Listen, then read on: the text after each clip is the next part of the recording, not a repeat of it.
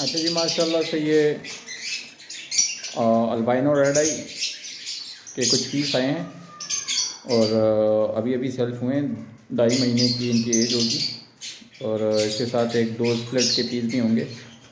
तो ये आप देख सकते हैं इनका साइज़ वगैरह हेल्थ वगैरह आप इनकी देख सकते हैं।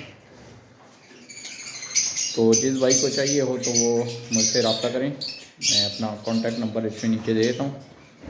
ये देखिए।